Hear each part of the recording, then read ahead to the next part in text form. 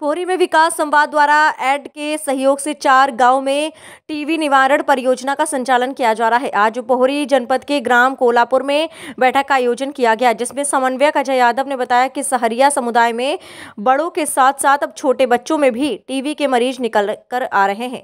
ये एक निंदनीय विषय है। हाल ही में परियोजना के चार गाँव में दो ऐसे बच्चे हैं, जिनकी उम्र दो से चार साल है। उन बच्चों में भी टीबी निकल कर आई है। ये परिणाम सहरिया में टीबी के मरीजों के संक्रमण का प्रभाव है।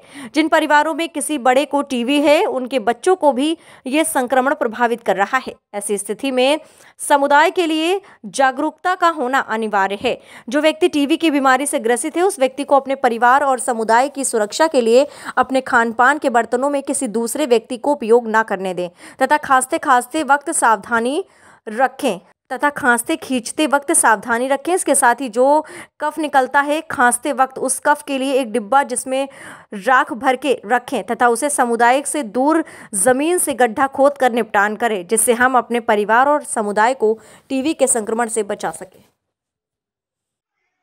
मैं अजय यादव, जिला समन्वयक विकास संवाद पोहरी से।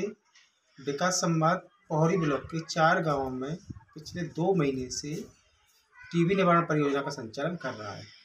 टीबी निवारण परियोजना में अगर हम देखें तो शहरिया बाहुल क्षेत्र ज़्यादा है और शहरिया में टीबी की जो समस्या है वो सबसे ज़्यादा है।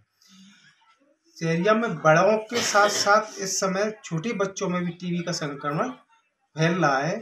अभी हाल ही में दो बच्चे टीबी पॉजिटिव आए हैं। इसके लिए समुदाय को टीबी संक्रमण को रोकने के लिए खुद की भूमिका सुनिश्चित करना अनिवार्य है। इसके लिए विकास संवाद समुदाय के साथ में मिलकर के यह भूमिका सुनिश्चित कर रहा है कि समुदाय में टीबी संक्रमण को रोका जाए। इसके लिए विभिन्न आयाम हैं, इनके लिए वो कर रहे हैं। धन्यवाद।